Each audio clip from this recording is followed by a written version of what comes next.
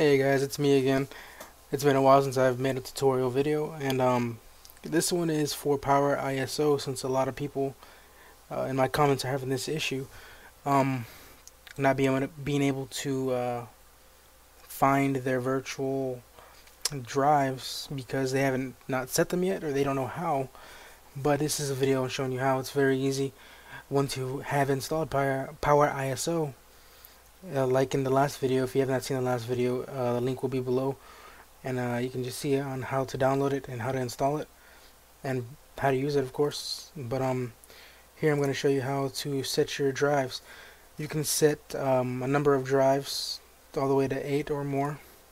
It's 23 drives. I will show you here. I have no drives set up at the moment. Uh, just my disk drive my actual disk drive but um here's this. You right click set number number of drives. Uh, just for tutorial wide tutorial usage I'm just gonna put eight drives. I don't ever use eight drives maximum three drives.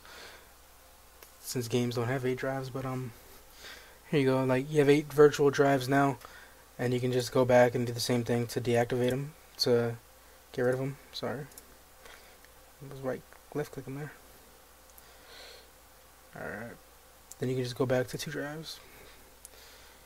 Yep, very easy. That's all that's all you uh, gotta do guys. Um Okay, like I said before, if uh, you have any comments, just leave the comments below. Any other tutorials you want me to do, uh, have anything to do with uh, torrents or any other programs uh, that you would use to use torrents, uh, just let me know. I'll show you how to do it. I'll put a tutorial video as soon as possible. And uh, thank you.